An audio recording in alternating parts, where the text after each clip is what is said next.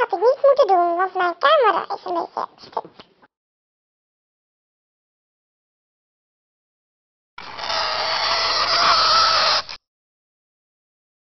Maar het blijft gewoon hartstikke leuk.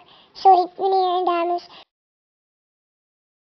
Het uh, ligt gewoon aan mijn hersens.